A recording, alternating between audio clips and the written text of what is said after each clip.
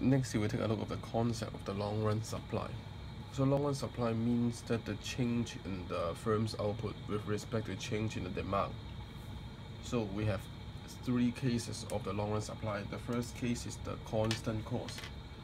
So constant cost means that okay, you need to draw a side by side diagram. The left hand side is the firm output and the right hand side is the market demand. So say now you have a price level. And at the long run the firm will produce at the minimum average cost. Because at the long run there are no out no profit okay? So the they will produce as here. Now if the demand curve increase and shift to the right, the price level will increase and the firm will experience a short-term profit and raise the output to Q2. Okay, given some output, the firms, more firms will come to the, to the market. As a result, the supply, the supply will shift to the right. So if this is constant cost, that means that newcomers will share the same cost functions. As a result, the price will eventually go back to the original price because the new firms, newcomer, are the same average cost. As a result, price will be lower and the output will eventually go back to Q1. so the long run supply curve is here. Okay, so long run supply curve is the response of the output when there's change in demand.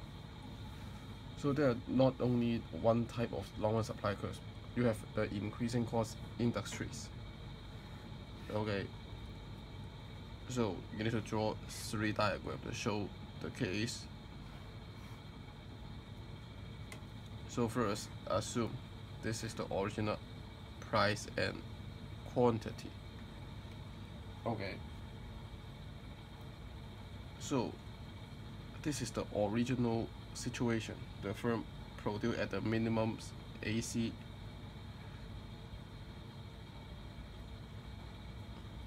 Okay, now if the demand increase to here, then the firms will experience a profit. So as the case similar to before, and in this case, some newcomer will, will be attracted, but these newcomers are are more inferior are inferior to the previous one. That means they cannot produce at a cost similar to the previous one. They need to provide at a higher cost. As a result the average cost may be like this which is above the original price. So MC is here. Here will be the new price. Okay so as a result, new firms emerge, supply increase, but the price will be a little bit higher than before. So the long run supply curve will be the shape like this, increasing. Okay, so this can this can be the model of the increasing cost industry. See, when they are newcomer, they will push up push up the input price okay as a result the average cost of the industry increase and the long run supply curve is upward sloping and finally you have a dark decreasing cost industry. So in this case okay.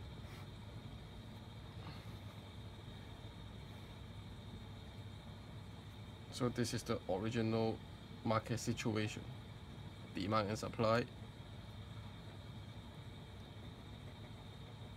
and originally the firm is producing here the minimum of AC now suppose the demand increase price is higher and the firm can ex experience some profit and here newcomers emerge and the newcomers may be produced at a cost lower than the original suppliers. So you can see that the price will go down. That means the supply curve will shift right up to this point. So the long run supply curve is connecting to equilibrium and downward sloping. Okay. So this may be when the newcomer emerge this push down the average production cost say it introduce lots of new technology or extract extract more labor such that the average cost can be lowered. Okay so these three are the long run supply curves. Next we will take a look of the comparative statics analysis. So that means what is the number of firm changes? When there's change in demand and what is what will be changed if there's change in the some input price okay? First let's investigate the change in the number of firms if there's increase in demand okay? So the number of firm is equal to the total output derived by the output of individual firms. So if there's increase in the demand say from q0 to q1 then the number of firm will be equal to q1 derived by q star. So if it is constant cost case q star is unchanging. Okay so the increase in the number of firm is equal to q1 minus q0 over q star so this case is very simple in the constant cost so next is the change in the input price. Okay. So first let's use the diagram that shows that what will happen so will the increase in input cost increase or decrease the output of individual firms? Okay. So the firms will produce at the minimum of average cost here. So now if V increase the average cost will be high. And marginal cost will also be high so okay assume this is minimal so you can see the output may increase or decrease it depends on the rel relative shift of the MC and AC. If the increase in AC is higher than the increase of MC, then the optimal Q star will be higher. Okay. So apart from the diagrammatically proof, you can prove mathematically. Okay. So in the long run, the firm will produce at AC equal to MC. So this is the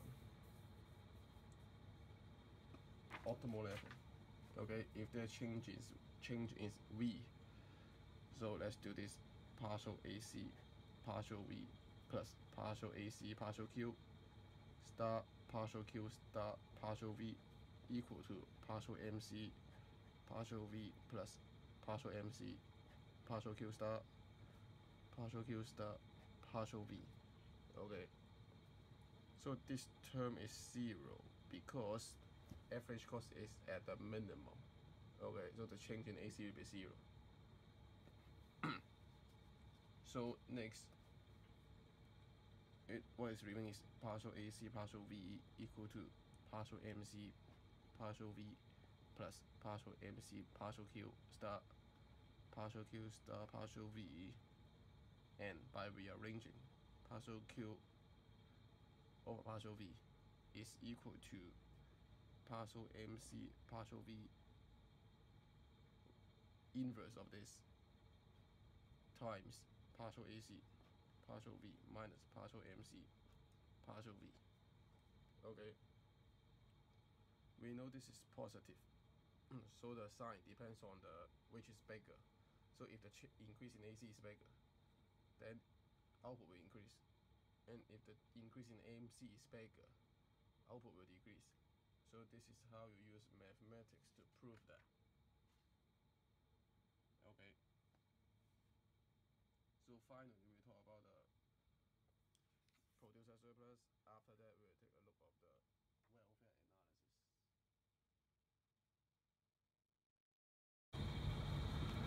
So producer surplus is defined as the extra return that the producer made by making a transaction at the market price over and above what they would earn if nothing were produced.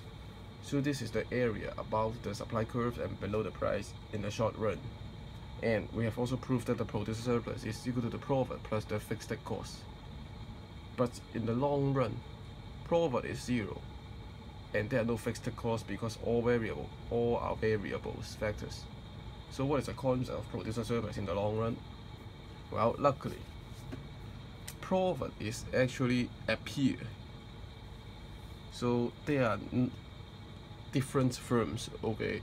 So some firms are more efficient while some firms are less efficient. So we can still derive the producer surplus concept here. So we can have three firms, okay? The first one is the low cost firm low cost firm means that the cost is can be kept at a very low level. Okay so maybe they are the pioneer of the industry. So as a result given the market price they can earn a profit of this area. And there are also some medium cost firm which means that the cost is a little bit higher than the low cost firm and they can still earn some profit. Finally, there are some marginal firms. Okay, marginal firm means that they are earning zero profit in this sense. Okay, so the producer surplus can be a, so this is a long run supply curve. This is the price here. So you add up all this profit, you will generate this area okay? For this type of profit we call this uh, Ricardian rent okay? So the producer surplus in the long run supply curve is the Ricardian rent okay? Well mathematically so you can